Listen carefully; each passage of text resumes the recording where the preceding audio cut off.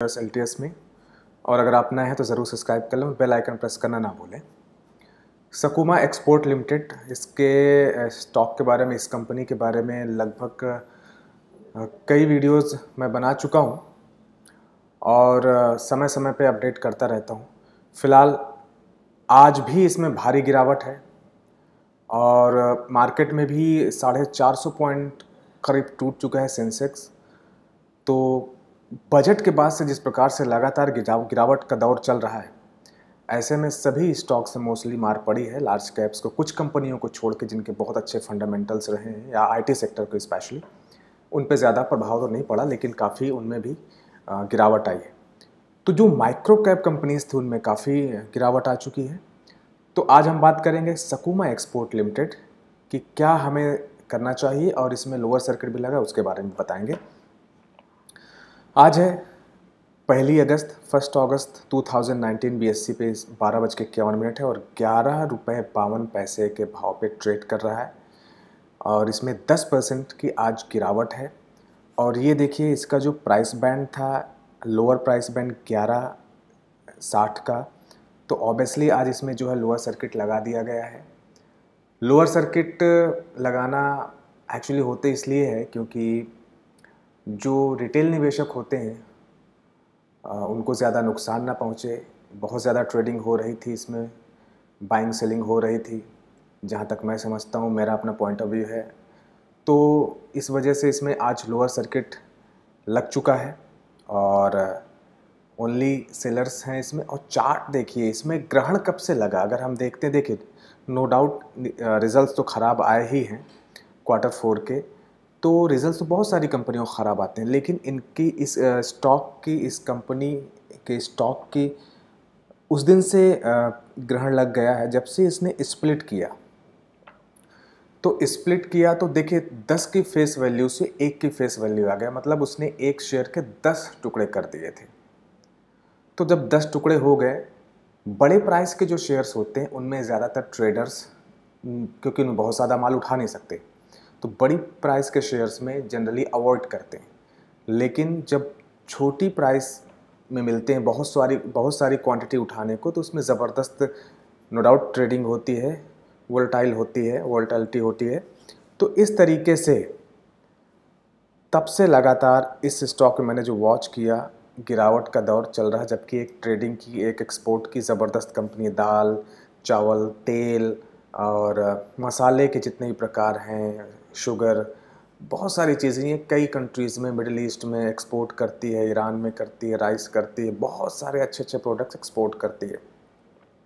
तो थोड़ा सा ट्रेड वॉर की वजह से भी कई कंट्रीज़ में आपसी सहमति ना होने की वजह से भी इस पर प्रभाव पड़ा, इसकी नेट सेल्स पर प्रभाव पड़ा, वो हम रिज़ल्ट में भी देख सकते हैं। इस तरीके से धीरे धीरे इस कंपनियों के काफ़ी चीज़ें प्रतिकूल होती गई और आज ये एक पेनी स्टॉक बन गया है।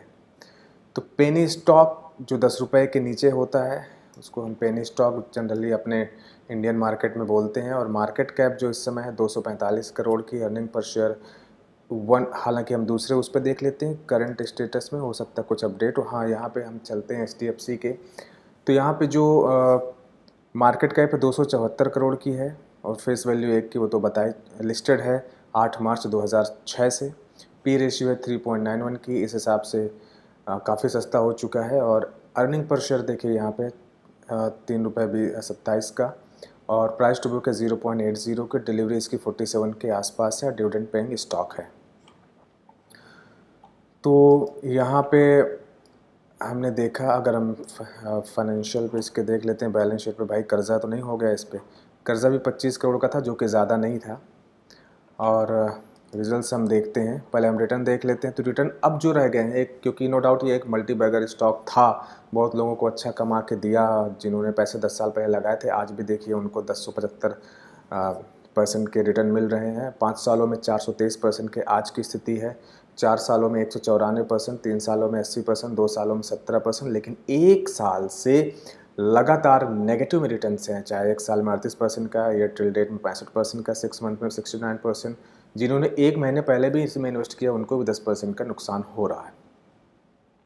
सॉरी एक महीने नहीं, जिन्होंने आज भी इन्वेस्ट किया मतलब आज दस परसेंट की इसमें गिरावट है, एक महीने पहले जिन्होंने पैसे लगाए थे, उनको बत्तीस परसेंट के हिसाब से गिरावट है।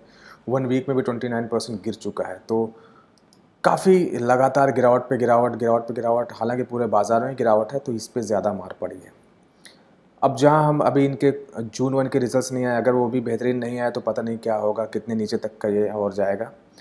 दिसंबर अठारह से अगर मार्च 19 यानी क्वार्टर फोर के हम रिजल्ट्स अगर कंपेयर करते हैं तो नेट सेल्स में देखिए यहाँ पे 24 परसेंट के सीधे गिरावट है। तो अब जब सेल्स ही, सेल्स में ही गिरावट है तो ऑब्वियसली प्रॉफिट में कैसे होगा? ऑपरेटिंग प्रॉफिट में भी देखिए यहाँ पे 40 परसेंट के आसपास की गिरावट थी डाउन साइड है, और नेट प्रॉफिट में भी यहाँ पे जो है चवालीस परसेंट की, और मार्जिन में भी यहाँ पे 0.70 की नेगेटिव साइड है। इस तरीके से अगर हम चलिए मार्च अठारह से मार्च उन्नीस में भी कंपेयर करते हैं तो अगेन यहाँ पे जो है, पिछले साल के मुकाबले, मार्च अठारह के मुकाबले, मार्च उन्नीस में भी यहाँ पे नेट सेल्स में दस परसेंट के आसपास की गिरावट है। हालाँकि ऑपरेटिंग प्रॉफिट में पचहत्तर परसेंट की अपसाइड है और नेट प्रॉफिट में भी सेवन पॉइंट थ्री परसेंट की अपसाइड है और मार्जिन में भी यहाँ पे one point two six percent की अपसाइड है। तो year on year net profit तो ठीक है, लेकिन नेट सेल्स में ऑब्वियसली गिरावट थी इस तरीके से क्वार्टर के इनके रिज़ल्ट बहुत बेकार रहे। और अगर जून के आते हैं क्वार्टर वन के 1920 फाइनेंशियल ईयर के तो अगर उसमें रिजल्ट्स अच्छे नहीं रहे तो थोड़ा सा दुख की बात होगी। मुझे लगता है कि और नीचे के लेवल पे भी हमें देखने को मिल सकता है। बट कोई बात नहीं, निराश होने की कोई बात नहीं मार्केट ही पूरा गिर रहा है।